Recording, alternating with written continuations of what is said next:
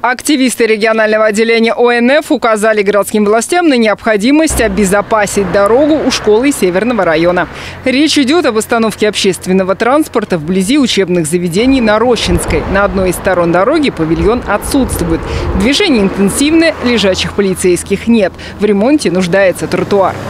До начала учебного года администрация города, мы считаем, обязана разрешить эту проблему и упорядочить, и обезопасить э, детей, их, скажем так, э, траекторию движения до школы. Как это сделать? Э, то ли объединить две остановки, то ли единственные сделать в двух местах, но э, качественные пешеходные переходы. Напомним, начиная с 2015 года ОНФ проводит всероссийский мониторинг состояния дорожной инфраструктуры около школ. Выясняется, насколько все соответствует нормативным требованиям, есть ли разметка, знаки, ограждения и светофоры.